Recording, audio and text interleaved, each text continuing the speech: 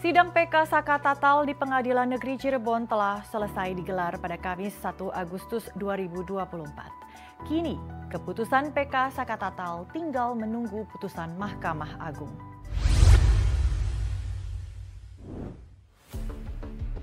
Sidang peninjauan kembali mantan terpidana kasus Vina Saka Tatal yang digelar selama empat hari di Pengadilan Cirebon telah selesai.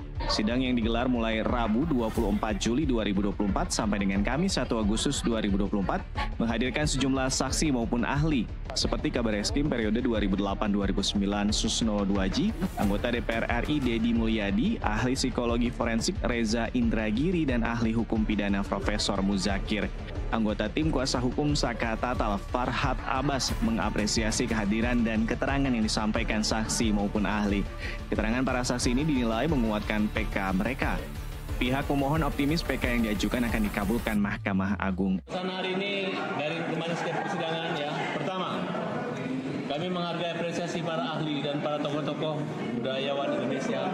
Tokoh masyarakat Sunda ada Pak Dedi, ada Pak Yongki, ada Pak Eh, Budi dan ada Pak Muzakir, ada Pak saksi-saksi Dr. Asmi, eh, Yongki Perando, kemudian Reza Intagiri, Pak Susno Duaji. Itu satu apresiasi bahwa mereka itu adalah orang-orang yang punya kesamaan untuk membantu perjuangan kita melakukan PK. Hakim Pengadilan Negeri Cirebon Riswanto Yunia mengatakan memori PK Saka Tatal akan dibawa ke Mahkamah Agung.